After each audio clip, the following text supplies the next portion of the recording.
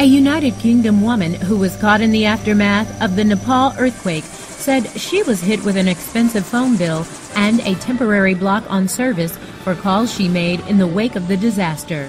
Sarah Cadcalo told The Guardian that Vodafone charged her £157 or about $239 for roaming charges she incurred while notifying relatives that she was safe and arranging emergency travel plans. Cadcallow, who was staying with in-laws near Kathmandu when the quake struck, said the UK-based service provider informed her in a text message that it was aware she was in Nepal and promised coverage for the next 28 days. But the next day, the phone company cut her off from making calls and sending text messages because of soaring charges, she said.